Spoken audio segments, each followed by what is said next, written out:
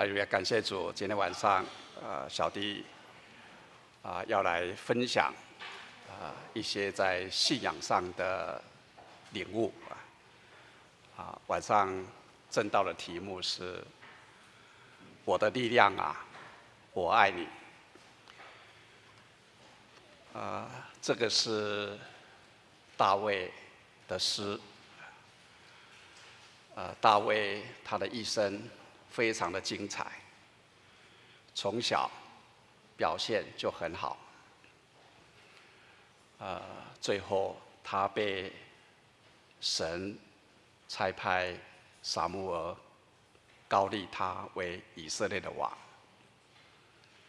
其实，在他的心中的王是扫罗，他非常的。钦佩、羡慕扫罗，也尊敬扫罗，因为扫罗也是神所高立的以色列的第一个国王。呃，他本来是想，他这一生如果能够啊，好好的来跟随在扫罗王的身边。为扫罗王，也为以色列国做点事，他就心满意足了。但是，因为扫罗王，他后来啊很多做法都变样了，特别是看到大卫的表现，以及神给大卫的赐福，他嫉妒大卫。所以后来我们看《撒母耳记》，就可以看到一连串的都是扫罗王要除魅大卫，所以有相当长的篇幅都在描述大卫王如何逃避扫罗王的追杀。以及因着扫罗王而引起的其他很多很多敌人对他的迫害、对他的追杀。呃，当他一关一关的过去，啊，最后啊，他真的成为以色列的王，而且不管是外邦的非利士人。啊，外邦的这些外族，或者是他们本国的这些对敌，最后多啊啊多失败了啊啊，所以他就非常的感谢、想念啊，他的这一切都是从神来的。当他思想这一切的时候，他做了诗篇第十八篇。其实诗篇第十八篇这一篇的内容，原来就记载在撒母耳记下二十二篇里头的内容，百分之九十五是一样的。因为在记载这个呃撒母耳记在记载啊大卫王的时候，最后大卫就用这一篇诗篇来总结。他对神的颂赞，对神的感谢，所以记载在撒母耳记下第二十二啊章啊诗篇的作者把很多人的诗集结起来的时候，也收纳了这一篇。在这一篇的第一节，他说：“耶和华，你是我的力量。”他说：“耶和华，我的力量啊，我爱你。”呃，有一次我在领会的时候，我特别提到这一段，说诗篇第十八篇第一节跟第二节是小弟个人认为诗篇里头非常重要，而且非常优美的一段诗句。呃，讲了那一段话以后，啊，其实啊，我有一段时间又特别的来思考，呃，这一段啊诗文。啊，心中有不少的领悟，晚上跟大家分享。我们就来看诗篇第十八篇，诗篇第十八篇的第一节：耶和华我的力量啊，我爱你。耶和华是我的岩石，我的山寨，我的救主，我的神，我的磐石，我所投靠的。他是我的盾牌，是拯救我的脚，是我的高台。我曾请教懂希伯来文的啊呃这个啊弟兄啊，我特别请教他啊这一段圣经用希伯来话怎么读怎么念，他读给我听，我的领悟就又特别。虽然我我我意思就是这样，但是因为那个声调，那么那个弟兄读这一段经文的时候，那个启程转转合。那么你把它当成一个诗，有押韵的诗来听的时候，那种感受又特别的深入。这里大卫为什么做这一首诗？那么在小字第十八篇一开始的小字已经做了说明。刚刚我也说了，是他脱离了一切仇敌和扫罗的手的日子，他就特别。向主我们的神耶和华念了这一首诗，然后他的第一句话啊，第一句话啊，就文字来讲，非常的啊啊这个平顺，但是就意义来讲，感情非常的深入。他说：“主啊，我的力量。”他说：“主是我的力量啊，我爱你。”我曾经跟我太太说，圣经里头有说我爱你，她不相信，我就翻给她看。以大卫说我爱你，那么我看那个注释注释的诗，因为我不懂希伯希伯来文、希腊文，啊，说这里所所爱的那个爱字，是用一个特别亲密的、特别挚爱的那个字眼来描述。他跟赐给他力量的，成为他力量的这个主说：“我爱你。”今天我们都应该跟主说：“主啊，我爱你。”为什么他说我爱你呢？为什么说耶和华我的力量啊？他在第二节说了，因为这是一首诗，所以他第二节呢就用呃他来描述说他的力量是来自哪里。我的力量是来自哪里？所以在诗中，他用具体的事物来描述、来形容这个力量，是因着这样子而而来的，而且用具体的事物，以他日常所所所接触的，他的一生当中所接触的一些事物来形容他。那因为是诗，所以诗当中呢，有时候有时候后面的那一个词，它是在形容前面的，或者是在补充，或者是重复。我们当然念了这首诗的时候啊，会大概知道他在讲什么啊。呃，但是有一点重复。我们如果看，好，我再推荐大家去看，就是现代文的译本。如果是现代文的译本的话，他就把它翻得更简略。从第二节里头，我们大概可以把它分成：他为什么说耶和华我的力量啊，我爱你？大概有三种境界。这三种境界呢，是他的他一生当中他所体悟的。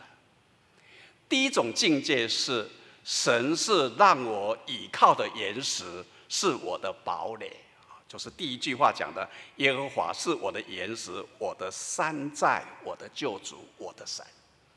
啊，这一句话在讲什么？在讲说，神是让我倚靠的岩石。在撒摩尔记有非常多的地方，我们今天就不不一一个翻了，因为翻了就很花时间啊。都是提到是这个大卫他在逃离的时候。他常常用磐石、岩石来形容他所得到的依靠，因为岩石是坚固的，是不可动摇的，所以他其实是用岩石来说，这个是神让我有所依靠。啊，然后这里说用了两个字叫做山寨。那我们平常啊看到这山寨的时候，我们也不太呃，到底山寨是什么？山寨，我们常常会误会说啊，山寨，我我们看这个小说的时候，好像是呃那些呃强盗啊，在深山里头所建的啊一个一个啊一个坚固的地方，没错，啊，山寨就是建立的一个呃坚固的一个地方，所以。这个呃现代文的中文版把它翻成堡垒啊，如果用堡垒更接近现代的语言他说神成为能够让我倚靠的岩石，可以让我倚靠的堡垒。我在九月份的时候呃去合肥啊接待的呃呃这个朋友啊就发一。呃呃，要我一定要去刘铭传的故居，结果坐车坐很久，坐了一个多钟头的啊这个啊时间的，才到刘铭传的故居。那么因为刘铭传是呃台湾的第一任的巡抚啊，所以台湾人去了，大概都会接待你去看一看刘铭传的故居。坐很很久的车啊，那个故居现在整理的很好。那么因为对台关系。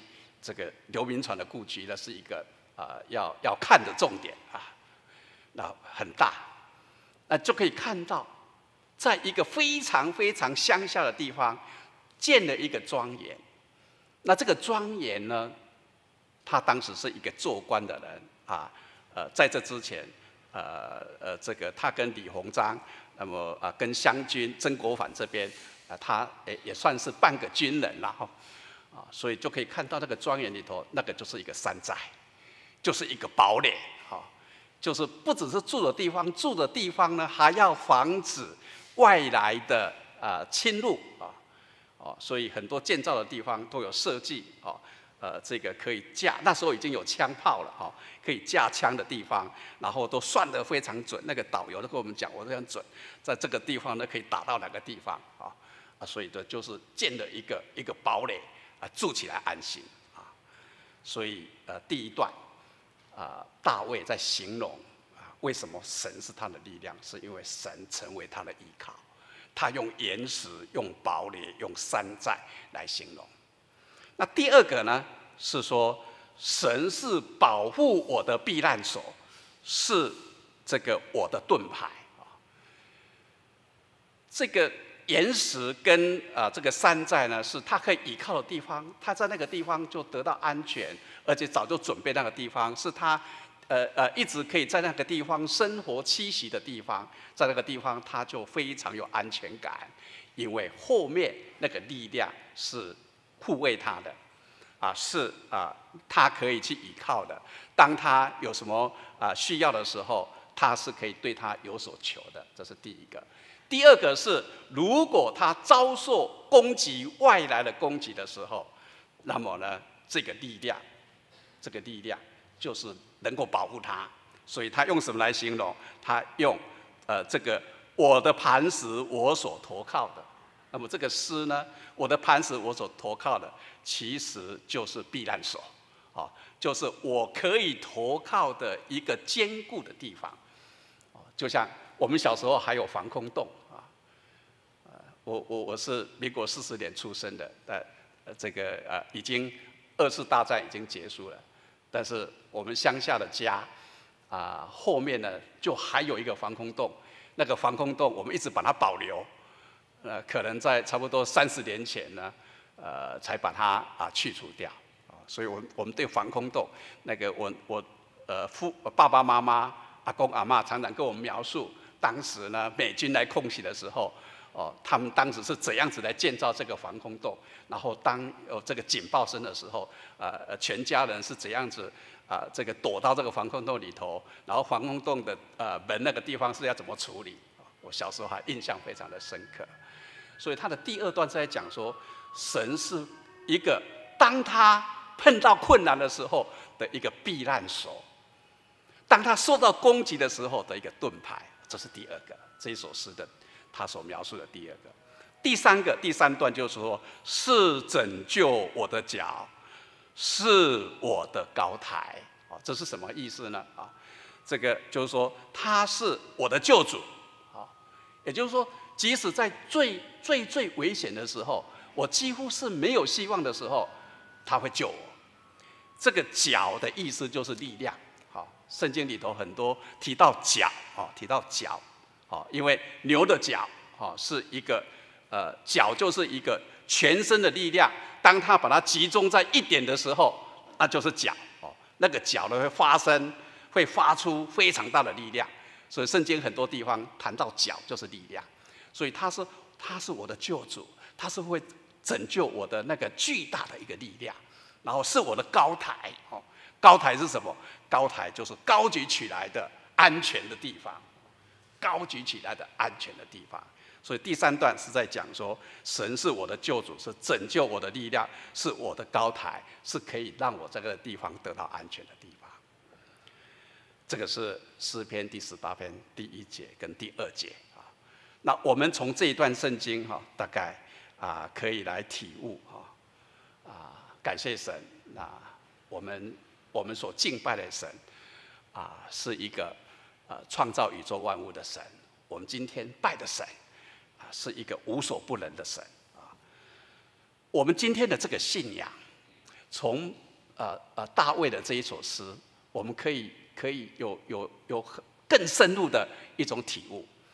这种大卫的体悟，哈，是说这样的他对神这样的一个相信，这样的信仰，啊，神也这样子爱他，所以他要他也要爱神啊，所以这样的信仰呢是幸福的啊。也是我们应该要来追求的。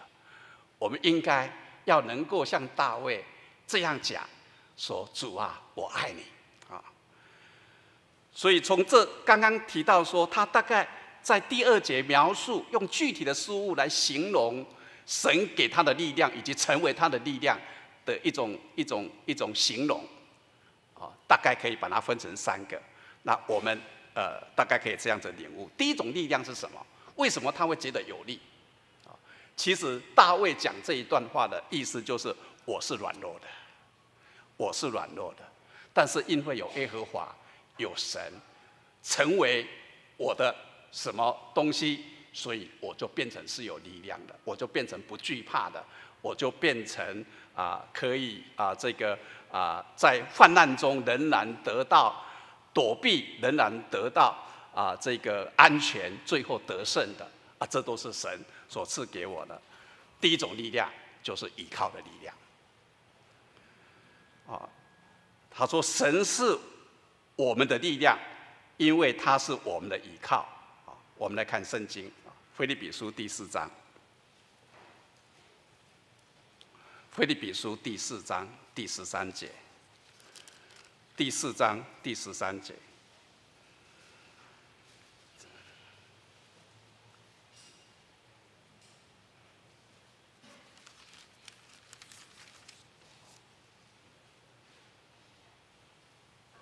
我靠着那加给我力量的，凡事都能做。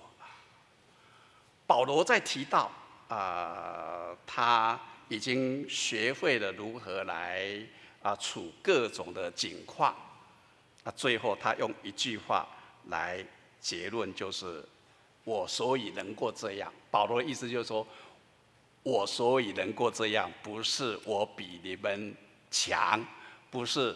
我就是这么能干，我就是这么豁然，我就是这么棒！保罗是说，我是靠着那加给我力量的，因为保罗前面讲说，我都会了，我都学会了，我都能过了。他说，但是要知道，我是靠着那加给我力量的，凡事都能做。所以这是一个依靠的力量啊！因着你有依靠。你的心中是倚靠的，你心中知道你所倚靠的是谁，所以你就很坦然，你就会有力量。这是大卫的第一个意思第二个意思就是平安的力量。大卫要告诉我们的就是说，呃，虽然我我有所倚靠，但是我这个倚靠不是就永远没事啊。我们常常把平安跟没事哦，平安没事，平安无事连在一起，但是平安不见得就没事啊，就是有事还平安才是真平安。所以第二种会成为他的力量，而且他觉得说主是我的力量。是因为主给他的是一种平安的力量。所谓平安的力量，就是即使有患难，为什么需要避难所？一定是有危险才需要躲到避难所。为什么需要有盾牌？就是因为有人攻击过来，我才需要盾牌去保护我，不让他的攻击得逞。啊，所以不管是盾牌，不管是避难所，这种镜像，就是你有。你糟糕了，有困难了，有患难了，有不能解决的事情了，但是，他依然有力量，是这就是一种平安的力量，就是即使在患难当中，仍然是喜乐的；患难当中，仍然是啊这个平安的。啊，当然，因为前面他倚靠，那第二个呢，神也让他平安。这种平安有两个层面，一种层面就是说。呃，在这个啊外在的事物化解的平安，啊，意外的平安，啊，另外一种就是说外面的啊这个事物即使还没有化解的，但是心灵是平安的，因为他知道一切都是神在安排，神让我遭遇这样的一个患难，他保护我，但是依然要让我呢去应付这些事情，他当中一定有。神的什么样的意思要我学习？我们来看四篇四十六篇。诗篇四十六篇的第一节，这里说：“神是我们的避难所，是我们的力量，是我们在患难中随时的帮助。”我们已经谈过避难所。我们谈过，因着有避难所，然后让我们有力量，而不是啊就就瘫软了，就不晓不知所措了，啊就啊呃呃就失落了，啊就跌倒了。这一段圣经里头特别宝贵的是最后这句话，啊，是我们在患难中随时的帮助，是一个帮助。而这个帮助有两个前提，为什么需要帮助？是因为患难啊！啊，这个帮助特别可贵的，就是随时啊，随时就是任何时刻，任何时刻需要的时候，神都会帮助我们。这就是平安！即使外在的事情还没有完全解决的时候，但是在心灵上。仍然是平安的，因为相信神一定会帮我做主。好，这个我想是呃大卫想表达的啊这种平安的力量。第三个是盼望的力量。当他最后说他是我拯救的脚，其实这句话是最严重的，就是说需要动用到拯救的脚，就是他几乎要死了。啊几乎要死才需要拯救，啊，即使要死了，但是有一个力量来，这个拯救的脚就不是大卫自己的力量，啊，是神的力量。当有必要的时候，神就出手了。这个是什么？这个就是盼望的力量。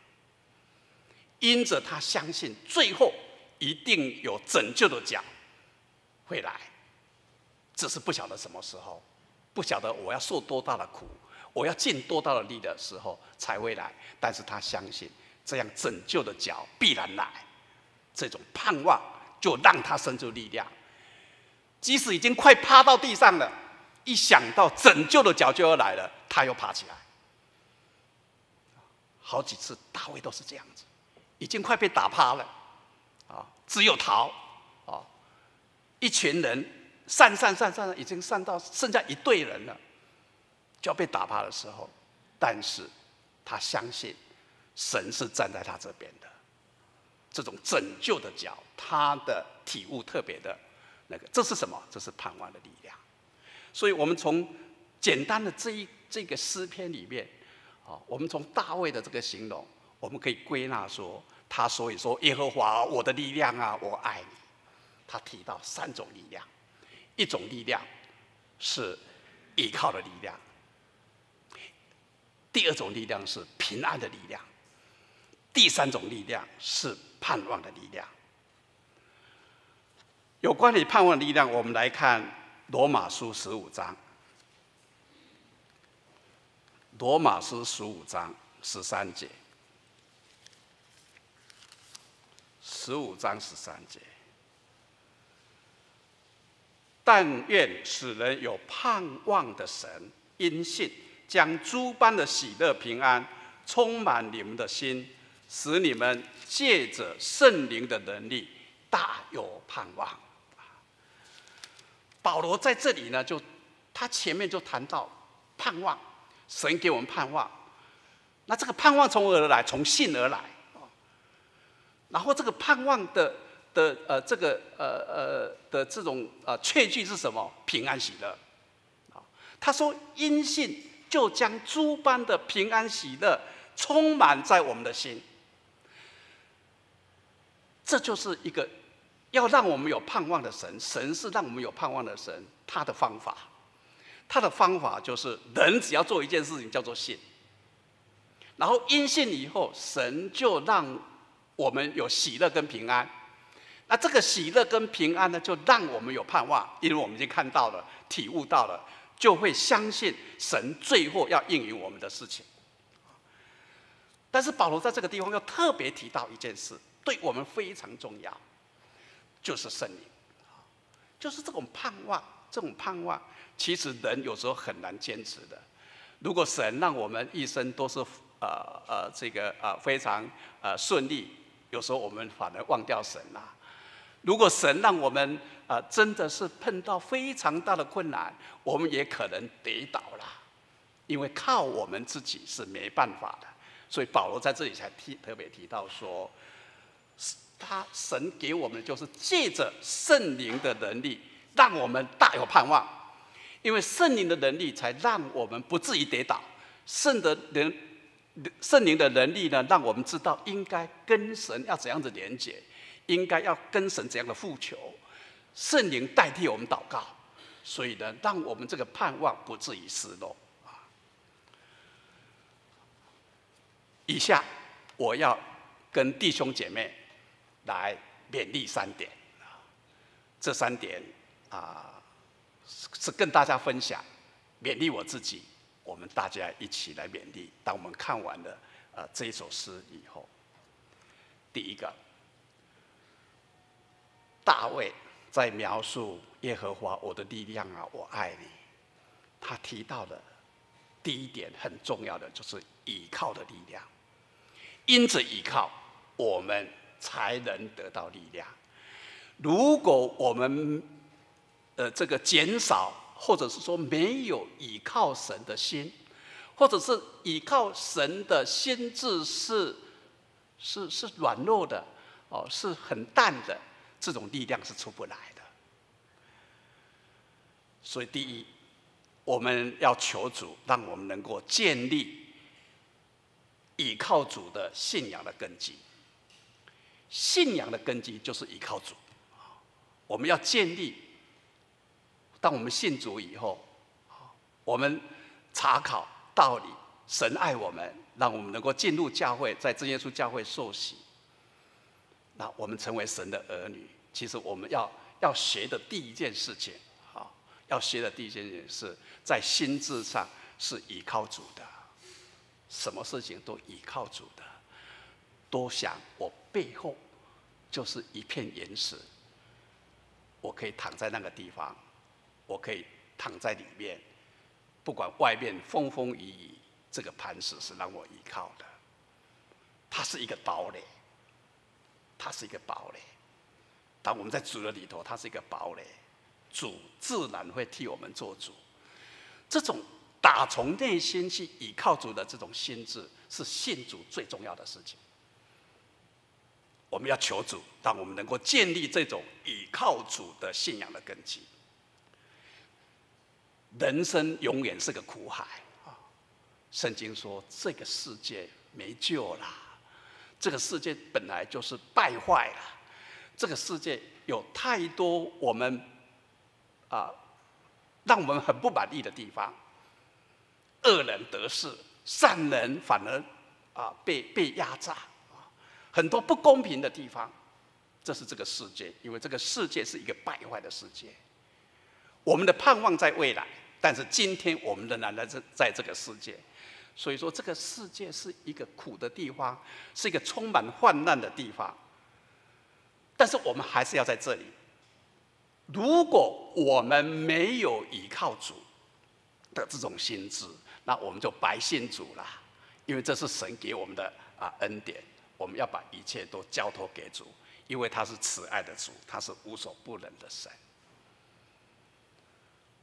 呃，耶稣来到世界的时候，在马可福音第四章，我们看到他行了一件神迹，啊，就是他叫那个风跟海平静，那一天他讲完道，众人啊拥挤。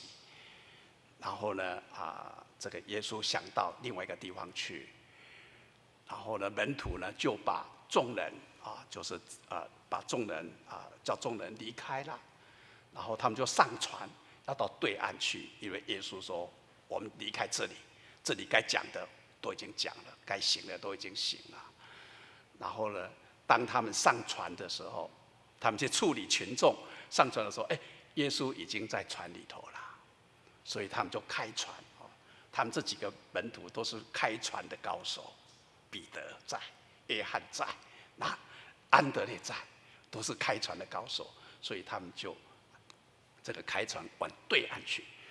啊，到对岸的时候，耶稣他很很安然的就在船船舱里面呢。他说，特圣经还特别说，他枕着头枕着枕头在那边很。很很啊，这个睡觉可能啊啊也累了，但是他半当中的时候就起了风浪，而且那个风浪呢非常的大，连这些平常呃开船捕鱼呃的这些人所都害怕了，因为看来呢圣经描述说那个浪呢就打到船里头，已经进了啊进了这个船，那这个船可能会如果不处理会沉下去。啊，这个时候呢，啊，他们就赶快，哦，他们知道，他们就赶快去把耶稣摇醒，把耶稣摇醒。嗯，虽然他们是呃，他们是开船的这个啊人所，但是他们跟随耶稣已经一段时间了，他们就知道，在这个时刻，我有一个依靠，我有一个依靠，那个依靠。你不要看他现在在睡觉，啊，他现在在睡觉，但我去摇醒他。我们圣经说，他就他们就去叫醒耶稣，把耶稣叫起来。耶稣是神啊，耶稣当然知道这所有的一切，但是耶稣就很很安详的在那边睡觉，把他摇醒。耶稣起来，就啊这个命令这个啊这个风跟。海都平静了，所以众人都啊非常的啊这个啊压抑，因为他是一个无所不能的神，所以圣经最后的结论说，众人都非常的压抑，因为连风跟海都听他的，嗯，这就是我们所相信的神啊。马太福音说，凡劳苦担重担的人。我们都是劳苦担重担的人世界上的人都是劳苦担担重担的人。这句话不是指向慕道朋友说的。即使我们信主了，我们还是劳苦担重担的，因为在世界上，我们就是一生要劳苦担重担，有很多的事情是要我们去担的，我们去处理的，我们去面对的。不是说信主以后我们就不用呃就不会再有这些劳苦重担。他说：“但是你们到我这里来，我要让你们得安息。哦，我要让你们得安息，让你们能够把这个担子啊卸下来。我们还是会有担子，但是这个担子可以卸下来。我们还是有担子，但这个担子的神愿意替我们替我们扛。让我们得安息，不是说你就没有担子了。我们有担子，但是那个担子可以放在一边，或者这个担子是主帮我们扛了。好，马太福音十一章二十八节，我们再来看一下啊。马太福音十一章二十八节。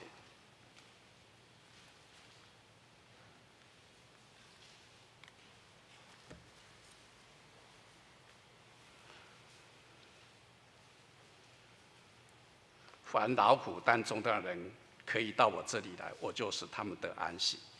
我心里柔和谦卑，你们当负我的恶，学我的样式，这样你们心里就必得享安息。因为我的恶是容易的，我的担子是清醒的。嗯，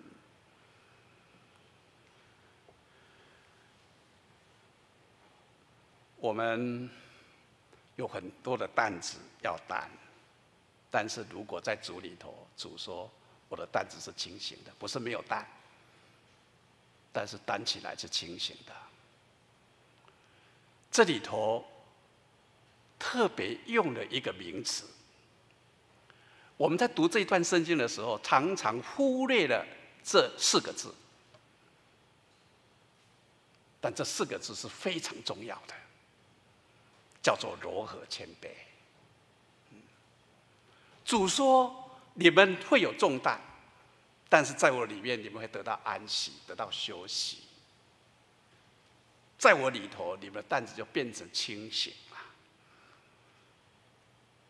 他说：“要怎么做呢？”他说：“你们要学我的样式。我的样式是什么呢？”他说：“我心里柔和谦卑，你们当负我的恶，学我的样式。”柔和谦卑。我年轻的时候读这一段圣经，非常不了解。哦，就是这个担子变成清醒，或者这个担子由由神来帮我们承担了。为什么是要像神那样子叫做柔和谦卑呢？好像柔和谦卑跟这一件事情不搭嘎。到底是什么？是什么样的一个啊？一个一一个一个讲法呢？是要主到底要我们学什么呢？但是后来我懂了。我们常常像雅各哈，我们信主了，我们信主了哈，但是我们有很多的需要，我们都跟神求，我们都求主给我们怎么样子。但是我们没有柔和谦卑，它是什么意思呢？柔和的柔和的相反词叫什么？柔和的相反词就是刚硬。谦卑的相反词是什么？谦卑的相相反词叫做骄傲。我们为什么一直还有很多的担子担在我们的啊身上？我们都忧郁了。这这个世界上真的太多事情可以让我们忧郁，让我们烦恼，让我们忧愁，让我们觉得受不了了。当我们向着求的时候，我们都求主啊，你把这一切都让他离开啊！我如果能够怎么样，我就不会怎么样；我如果怎么样，我就会怎么样。你在主看来，在主看来，这个就是没有柔和谦卑。我们就是依然还是用我们自己的意思，我们只求自己的意思，按照自己的主见，哦，按照自己的主见，很刚硬的，非得按照我的意思做不行，不然我就抱怨，不然我就觉得别人对不起我，哦，不然我就是没办法解决问题。主啊，你就是没有给我这一百万，所以我才会有今天嘛。你如果给我一百万的话，这一切我都全部都解决了。但是主不不会给你一百万，有一天主可可能给你一千万，但是不是现在，不是现在这个样子，是不是依照你的意思？所以耶稣说：“你们要如何谦卑，学我的样式，就是你们不要刚硬，你们不要只有自己的意思。虽然表面上说主啊，我交托给你了，但是所谓交托给主的意思，就是说主啊，你照我的意思做吧。这就不是交托，所以要柔和。什么是骄傲？就是总觉得我做的才对啊，我做的才对，都是别人对不起我，都是别人没做好，啊，都是都是别人啊，呃，我我的就就就是了，这个就是骄傲。耶稣说：你们要如何谦卑，你们要把心中那种那种只想自己没有别人的放下，你们要把这种自以为是的一些思维拿掉。你的担子就放下去了，啊！我们好好来来思想耶稣的这一段话。有一个故事啊，很多人在讲到的时候也常常提到，但是值得再说。说有一个阿伯，啊，年纪蛮大了，他好就是啊，可能。呃，要去呃，在在乡下，然后呃挑了一个担子，好，然后挑得很辛苦，因为年纪也大，担子也重，走得很辛苦。哎，刚好旁边后来呢有一辆这个小卡子小小货卡哦，小货卡啊过来看到这个阿伯挑那个担子走得很辛苦，就说阿伯啊，我刚好问他去哪里，他说去哪里，他说啊我刚好顺路顺路哈。那我载你一程，啊，阿北非常的高兴，就上了啊这个小货卡的后面嘛，后面这个小货车，啊就啊就呃这个上去，一直感谢，一直感谢。但是那个司机开了一段路以后，从那个后视镜一看，就停下来，跟那阿贝说：“阿贝哈，你已经在车上了，你为什么还把担子放在你的肩膀呢？”已经在车上了，但是这阿伯呢，是他是上车了，他是很感谢了哦，他是很感谢，但是呢，这个叫他辛苦的是这个担子啊，走路对他来讲可能还容易，是这个担子，他即使已经在车上了，他仍然把这个担子担在他的肩膀上，他才说对哦，啊，这个我就放下来就哦，太轻松了，嗯，好，我们跟神的关系也是这样。嗯很多事情，很多事情，我们都会面对。但是，神说到我这里来，我要让你们清醒。他是我们依靠的主，他是无所不能的。我们一定要相信，这种啊，这种这种依靠的这个力量，就是把担子卸下去。也就是这个啊，我们来看四篇五十五篇，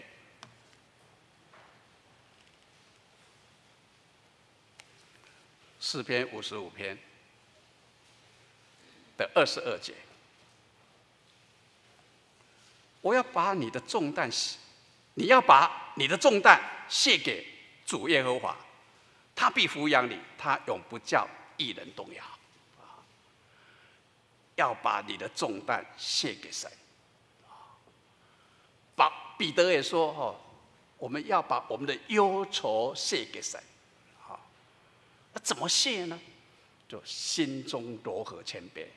心中不要再一直是自己的意思，心中要仰望神，心中要有倚靠的心。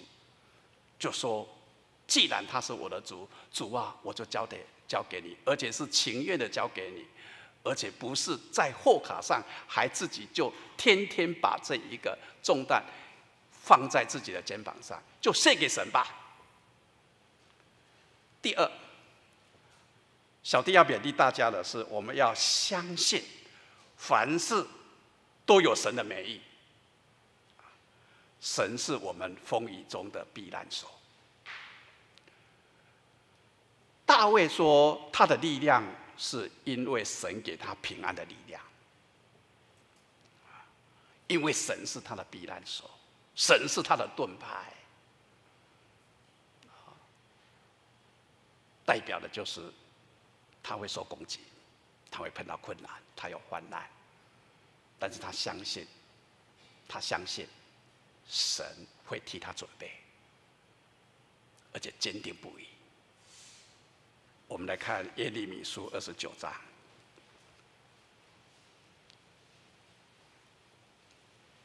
耶利米书二十九章十一节，二十九章十一节，主耶和华说：“我知道，我向你们所怀的意念是是平安的意念，不是降灾祸的意念，要叫你们幕后有指望。”这个是，呃，神要耶利米先知说的，他说：“我要你们知道，你们要相信，不管你们碰到什么事情，因为事情有有有先后，都还没有到最后末了，人一定有患难。”他说：“你们要相信，神的意念是美的。”神的意念是好的，神是赐平安的意念，不是降灾祸的意念。如果我们相信有这样的追求，而且打从心里头这样子相信，主会解决我们很多问题，我们的力量就会出来，我们就会相信神在我们需要的时候，他会成为我们的避难所，即使。有风有雨，神必然成为我们随时的帮助。这就是耶稣说的：“我要赐平安给你们。”这个平安是跟其他人说的平安不一样的。你们没有忧愁，没有惧怕。第三，要跟弟兄姐妹大家来互相勉励的是。我们要建立不怀疑的信心，没有绝望，只有盼望。大卫所领受的，认为他从神来了那个力量，是一种盼望的力量。因着盼望，所以他就有力量，他就可以坚持到最后。他所以能够坚持到最后，是因为有盼望，他没有绝望。我知道，我们有弟兄姐妹。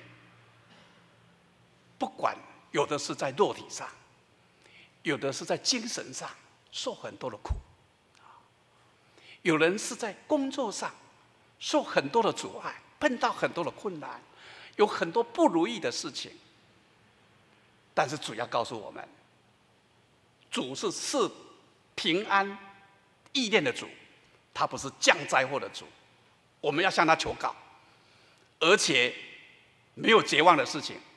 就神来讲，神不要叫我，就我们一个信主的人没有绝望，因为神给我们的是盼望。在路加福音第七章，我就不读了。我们都知道那里拿因城的寡妇，拿因城的寡妇，寡妇独生子死了，圣经特别描写，众人陪伴他，跟他一起哭。因为就这个寡妇来讲，还有什么比这个事情更绝望的事吗？但是耶稣来了，耶稣就叫他这个独子复活了。圣经说，全城的人都归荣耀给神。即使在最绝望的时候，如果耶稣来了，他就给我们盼望，救我们脱离。耶稣不见得每一件事情都让我们一百分，啊，都让我们我们的困难都把我们解除了一干二净，没有这种事。因为神要让我们去经历各种的训练，经历各种的事物，但是因着对神的关系的不一样，就会有不一样的结果。对神的关系的差异，就会。分出那个差别来，就有人就是平安，有人就是不平安，有人就是有盼望，最后真的得到他的盼望；有人就是绝望，而且就真的绝望。这种如果我们有这种盼望的力量，这种盼望力量就是永不怀疑的信心。有这种永不怀疑的信心，我们就会因着信看到很多事情的好处，即使在患难当中，仍然看到很多事情的好处，而不是只看到那个阴暗的、让我们跌倒的这些迎头而来的事情。我常常举一个例子：保罗写腓利比书的时候，人是被关在监狱里头，但是我们去看腓利比书第一章，保罗是怎么讲的？他说：“我在监狱里头，但是感谢主，因为我在监狱里头。”他就描写两件事情。他说：“我在监狱里头，表面上是我受苦了，真的是受苦了，他不应该受的苦，但是呢，却让我有机会可以跟这些在呃这个跟总督啊看守呃呃护卫总督的这些啊军人们来传福音。”就因为我在监狱里头，是我受苦啦，但是保罗说，我却看到，因此我在监狱里头，所以在监狱外面的你们啊，就更加的迫切。因着保罗被关，他们在外边就更加的努力，更加的有力，更加的迫切去把福音传扬出去。他为这个事情感谢神，这是什么？这个就是，即使在困境。在非常绝望当中，保罗被关不是那么轻松的事，那个是生死之间的事情，一个判决就死了。但是他看到的是好处，神的力量，因着他的信靠，因着他永远怀抱盼望所得到的力量，他就看到好处，总是看到好处，总是看到曙光。总是看到还有可以努力的，总是看到主要我做的是什么。我们来看雅各书第一章，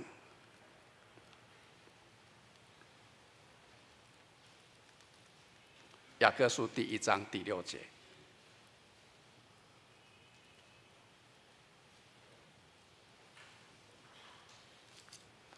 第一章第六节。只要凭着信心求，一点不疑惑，因为那疑惑的人就像海中的波浪，被风吹动翻腾。这样的人不要想从主那里得什么。这样的人不要想从主那里得什么。我们要学大卫，怀抱着爱主的心，感念主的赏赐，怀抱着这种盼望的啊，这种从盼望得到的。这样的一个力量当中的关键，就是对主有永不怀疑、永不疑惑的啊信心。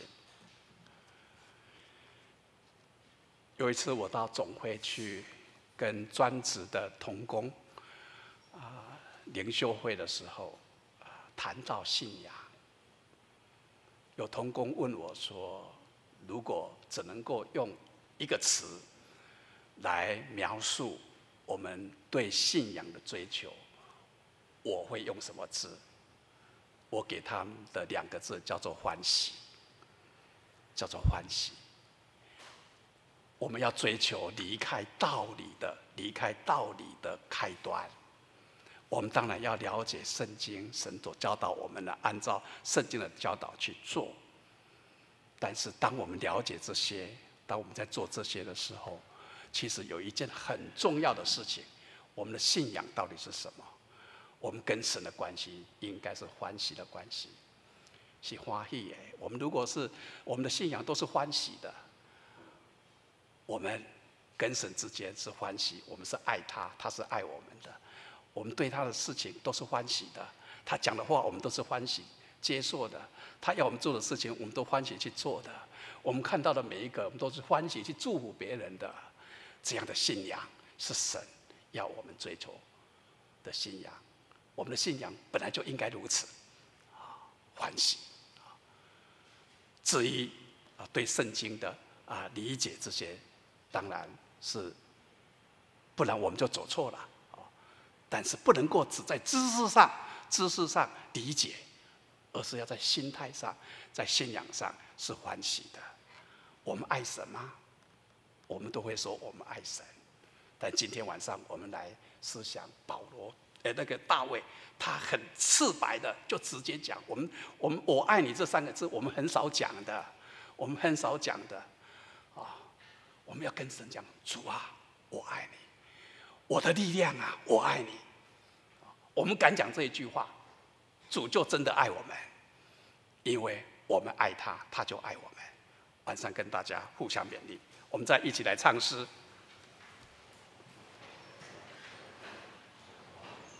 三百八十一首。